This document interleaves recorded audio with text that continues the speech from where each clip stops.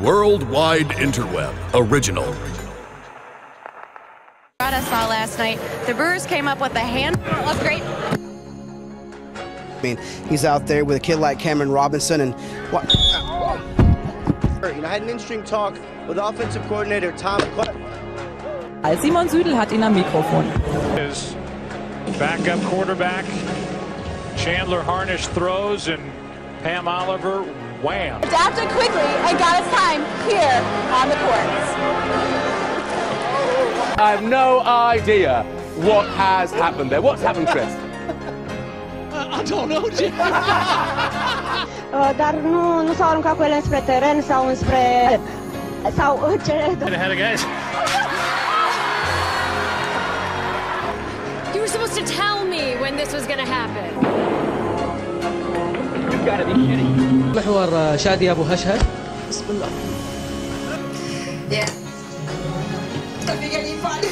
And asked him what he liked, didn't like about that first half. He thought defensively the team started slowly not picking up Portland's uh, double penetration. Of course, 50 Cent here. I gotta go talk to Danica Patrick. Good to see no. Am I in? You're in. Let's do it right now. Cut. There's something going on behind me. See, I told you. I did not sign a waiver to be out here at halftime right now. Philadelphia again. Get out of here. Play it again. And Syracuse comes from behind at the end to beat Georgetown. He told me so far nothing is really happening other than this big hey now. Okay, look, I've never in my life tried to really go at you in your suits and stuff. Tonight, I am stressing you. You take this outfit home and you burn it. Go for two and make it and beat the Panthers at Ficklin Stadium today. Indiana Pacers in the third quarter. So an easy enough question for George Karl. Is revenge a factor? But I think the one thing that's interesting about the USFL people, George, is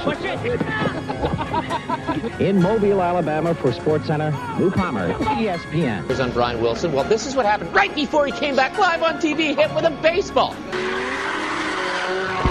We made this video. Hope it's cool. Hope you like it. Hope you think it's good.